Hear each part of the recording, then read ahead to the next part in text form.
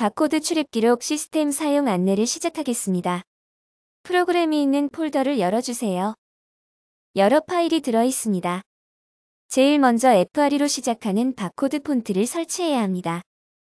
폰트 파일을 실행하시고 상단에 있는 설치 버튼을 눌러주세요. 설치가 다 되면 X를 눌러 파일을 꺼주세요. 다음으로 바코드를 만들기 위해 바코드 생성기 파일을 실행하세요.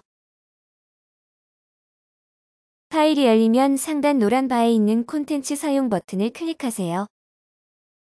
학교급과 학교명을 선택하고 학급수를 입력해주세요. 학교급을 선택하면 학교 목록이 자동으로 변경됩니다.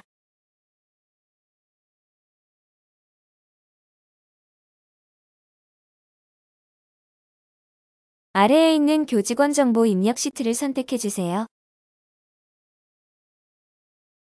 직급과 이름을 순서대로 입력해주세요. 직급과 이름만 입력하면 바코드가 자동으로 생성됩니다. 이위 입력하기 어려우시면 다른 파일에 있는 내용을 복사하여 붙여넣기 할 수 있습니다. 저는 예시로 10명만 넣어보겠습니다. 교직원 입력이 다 끝나면 상단에 있는 교직원 바코드 생성 버튼을 눌러주세요. 바코드 카드 양식이 자동으로 만들어진 걸 확인할 수 있습니다. 파일, 인쇄 버튼을 눌러 만들어진 바코드 카드를 출력합니다.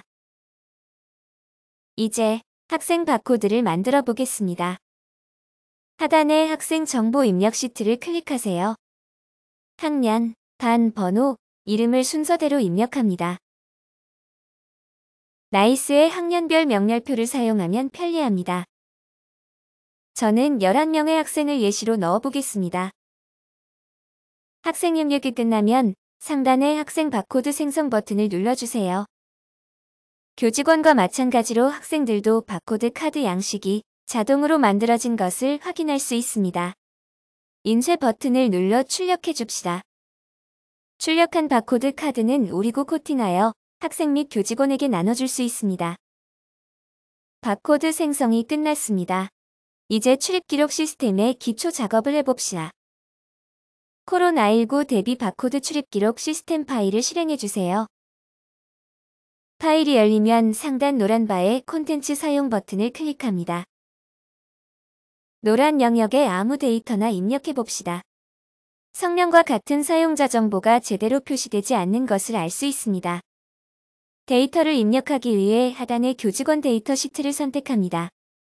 직급과 이름을 순서대로 입력합니다. 바코드 생성기에 입력한 내용을 그대로 복사하여 사용하면 편리합니다. 교직원의 데이터는 9001번부터 고유번호가 자동으로 생성됩니다. 이제 학생들의 데이터를 입력하겠습니다. 하단의 N학년 데이터 시트를 선택합니다. 반, 번호, 이름을 순서대로 입력합니다. 바코드 생성기에 입력한 내용을 학급 단위로 복사하면 편리합니다. 학년은 시트 단위로 구별이 되어 있습니다. 학년을 제외하고 반, 번호, 이름만 복사해주세요.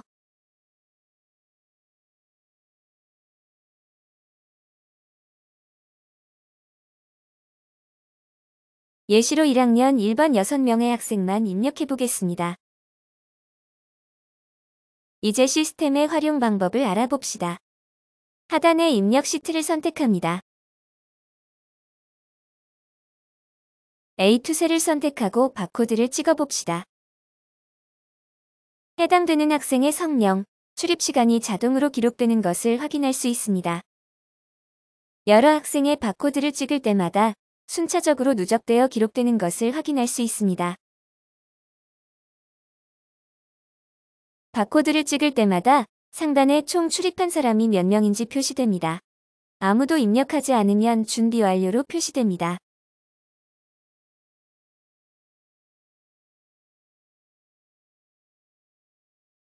한 명이 여러 번 바코드를 찍거나 친구의 바코드를 빌려서 대신 찍으면 중복 확인열이 붉게 표시됩니다.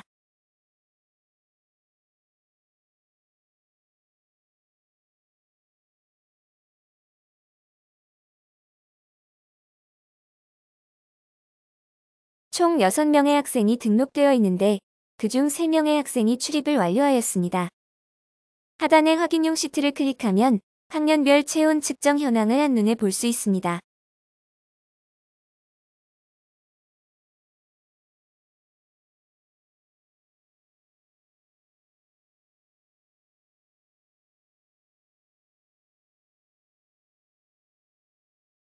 하단의 미측정자 종합 시트를 클릭하면 측정을 하지 않은 학생들을 한꺼번에 확인할 수 있습니다.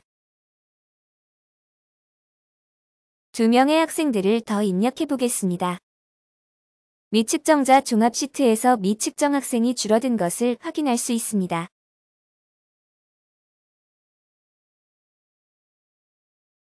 지금까지 기록된 내용을 보관해 보겠습니다.